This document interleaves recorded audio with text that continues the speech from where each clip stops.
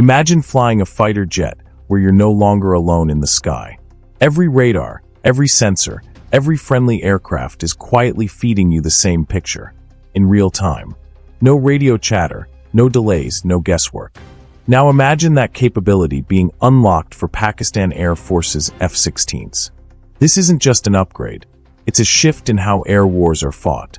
In the next few minutes, you'll see how a hidden NATO technology turns individual jets into a single thinking force, and why adversaries care far more about this than new missiles or new aircraft.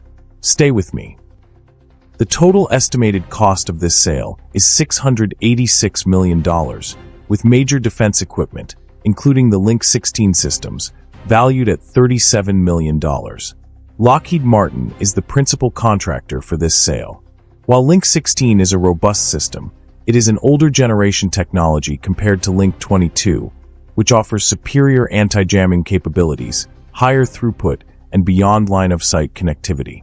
The US's decision to provide Link 16 rather than Link 22 to Pakistan is seen as a deliberate choice to enhance interoperability for counterterrorism missions without granting access to the most advanced networking reserved for its closest allies. Benefits of Link 16 technology. Link 16 is that nervous system, a secure, jam-resistant tactical data link used by NATO and US forces to exchange near real-time positions, tracks, target assignments, text, and even limited imagery and voice across air, sea, and ground platforms. Technically, it is a time division multiple access waveform operating in the 960 to 1215 MHz band, carrying J-series messages that encode locations, track IDs, commands, and status. The waveform's frequency hopping, encryption, and standardized message structure are what make Allied aircraft talk the same language in contested environments. So, what changes for Pakistan if its F-16s receive Link 16 terminals and the associated integration package?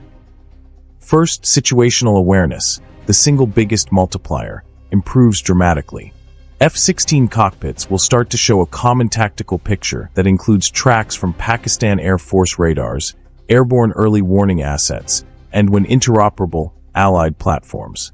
In practice, that means a wing of three fighters could see and prosecute targets well beyond each jet's radar horizon, handing off fire control to the jet best placed to deliver the weapon while other jets maintain cover or suppress threats. The net effect is forcing multiplication.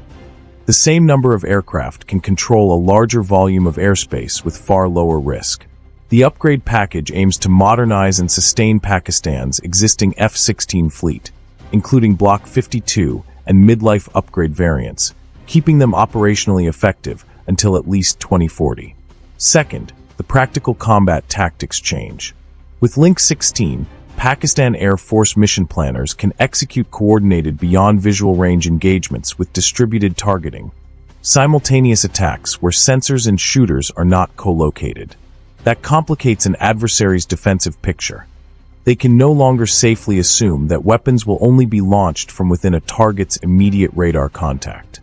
Link-enabled F-16S can also perform collaborative electronic support. One aircraft can act as an emitter locator or data link node, cueing others to threats and enabling more precise suppression of enemy air defenses. The net increases survivability for strike packages and better protection for high-value assets.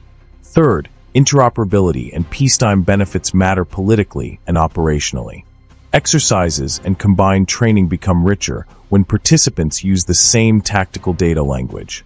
That means PAF squadrons training with US or other coalition units can practice more realistic, high-tempo missions, an advantage that compounds over the years as doctrine, tactics, and software maturity improve. It also opens up options for coalition logistics, force tracking, and airspace deconfliction during crises, giving Pakistan more flexible choices in how it manages regional contingencies. That said, the introduction of Link 16 is not a magic wand. The system requires careful network management. Slot scheduling, cryptographic keying, and network participation group design are technical and procedural tasks that must be mastered. Secure key management and export controls historically limit the most sensitive waveform and encryption capabilities to trusted partners. full, seamless integration into allied high-security networks, and future waveforms like Link 22, is often constrained by policy and technical safeguards. Practically, this means Pakistan will receive specific hardware and software configured under U.S. oversight, and operational employment will need strong doctrine and training to avoid network congestion, misqueuing, or security lapses. In short, the technology is potent, but only as good as the people, processes, and policies that run it. Operationally in the near term, expect incremental but visible changes. Air defense reaction times shrink, coordinated CAP combat air patrol, coverage becomes more efficient, and mixed formations of F-16S with other PAF platforms, and potentially friendly coalition assets, can prosecute multi-axis attacks with higher confidence. In the midterm, as ground-based sensors, AWACS-like platforms, and even naval assets are tied into the same tactical picture, Pakistan's ability to compress the sensor-to-shooter timeline will increase, making its air defenses and strike packages meaningfully harder to defeat. The strategic implication is clear. Link 16 doesn't give raw stealth or more missiles, but it amplifies the combat value of every sensor and weapon already in service. Finally, the soft but lasting effects are doctrine, training, and deterrence. Link-enabled forces operate differently. They train to fight as a network first, platform second. For the Pakistan Air Force, that means investing not just in terminals and aircraft wiring, but in squadron-level tactics, joint command and control, and secure logistics for cryptographic material and software updates. When adversaries recognize that Pakistan's fighters can act together as a tighter, faster-reacting system, the deterrent value of the air arm rises, even without changing fleet size. The battlefield of the future will reward those who see first, decide faster, and shoot with coordinated precision. Link 16 is a proven step in that direction. In short, Connecting Pakistan's F-16s to Link 16 will not suddenly equalize every capability gap, but it will change the math of engagements.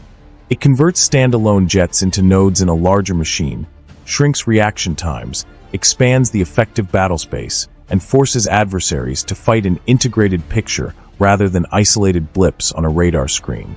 That is why this kind of tactical networking is often described as a force multiplier.